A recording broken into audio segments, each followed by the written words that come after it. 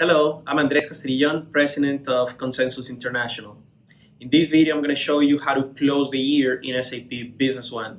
Uh, the difference with uh, Macola, where you have only one possibility to do closing of the year, is that in SAP Business One, you could do as many closings as you want. You could even uh, do a closing, a preliminary closing on the 2nd of January, and then enter additional transactions and adjustments and do additional closing as needed you're going to love the way that SAP handles the end of the year processes.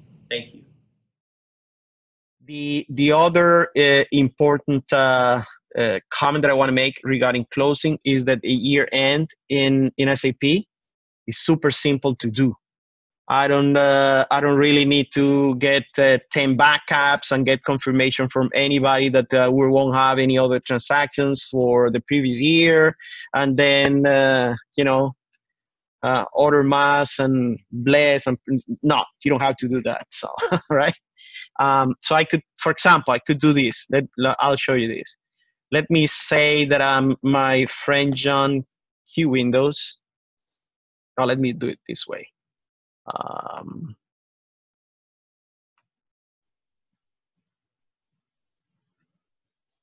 let me duplicate this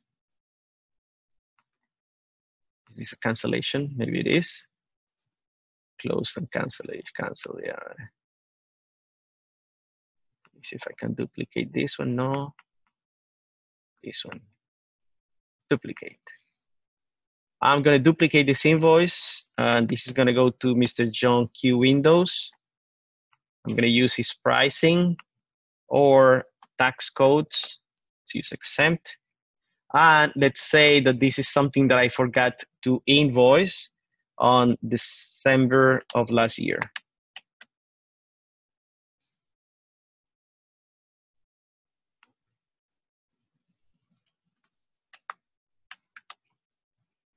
Okay. Let me see if I can do that. So the period was open. I re- I opened the period before, right? So I could do that in 2018. I, I already closed 2018, but now I could come here and do a year-end closing for the year 2018, which I had done before. And it's telling me, yeah, you have a couple transactions it open for last year. I just pick them, say I want this to be accounted for in December 31st, 8, 2018. I executed and I have done an additional end of the year close, right? So that is really handy. Especially with the salespeople, you know, they, they want to close the year on December 38th sometimes. That's useful.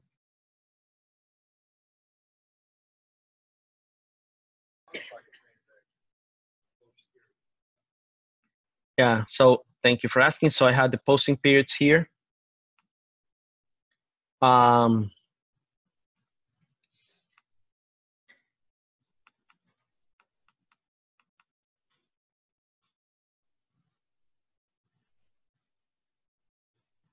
so I have authorization to do that. I could come here and I could unlock, accept sales, or I could lock it the reason why yeah the reason why i was able to is because it's not locked. Yeah and i could automatically lock it. I could say lock everything for sales on the first day of the month and keep it open two days maybe for accounting or three days or five and then lock it.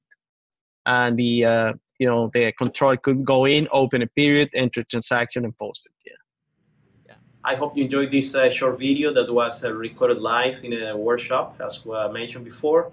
Uh, I hope you enjoy the way that uh, SAP closes the year and the fact that you could do as many closing as you want.